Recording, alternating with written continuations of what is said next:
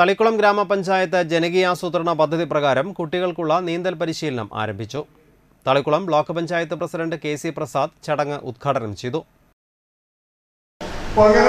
ഒരു സ്പോർട്സ്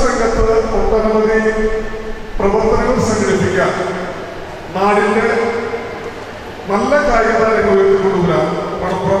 എന്നും വികസന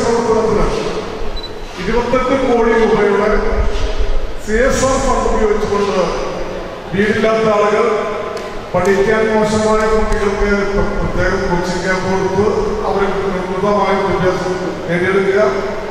നേരത്തെ വീടില്ലാത്തവർ സ്ഥലമില്ലാത്തവർ അതുപോലെ തന്നെ ചികിത്സാ സഹായങ്ങൾ ഒട്ടനവധി എണ്ണിയാൽ തീരാത്ത അത്രയും ജീവകാരുടെ വികസന പ്രവർത്തനത്തിന് മണപ്പുറം ഫൗണ്ടേഷൻ നേതൃത്വം കൊടുക്കുക.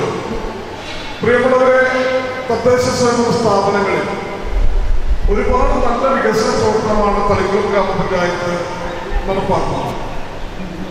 അത് ഉപ്പ് തൊട്ട് കർപ്പൂരം വരെ എന്ന് നമ്മുടെ കർമ്മമായി പറയുന്നത് പോലെ കുട്ടികൾക്കും ഗർഭിണികൾക്കും വൃദ്ധർക്കും സമസ്ത മേഖലയിലുമുള്ള ആളുകൾക്ക് അവരുടെ ശേഷി വർദ്ധിപ്പിക്കാനും ഗ്രാമപഞ്ചായത്ത് പ്രസിഡന്റ് പി ഐ സജിത ചടങ്ങിൽ അധ്യക്ഷത വഹിച്ചു. ഏഴ് മുതൽ പതിനഞ്ച് വയസ്സ് വരെയുള്ള ഇരുന്നൂറ് കുട്ടികൾക്കാണ് നീന്തൽ പരിശീലനം നൽകുന്നത്. പരിശീലനവും യൂണിഫോമും സൗജന്യമായി പഞ്ചായത്ത് നൽകും. കുട്ടികൾ വെള്ളത്തിൽ വീണുണ്ടാകുന്ന അപകടങ്ങൾ തടയുന്നതിന് വേണ്ടിയാണ് നീന്തൽ പരിശീലനം നൽകുന്നത്. അത്യാധുനിക സൗകര്യങ്ങളോടുകൂടിയ മണപ്പുറം അക്വാട്ടിക് കോംപ്ലക്സിലാണ് പരിശീലനം.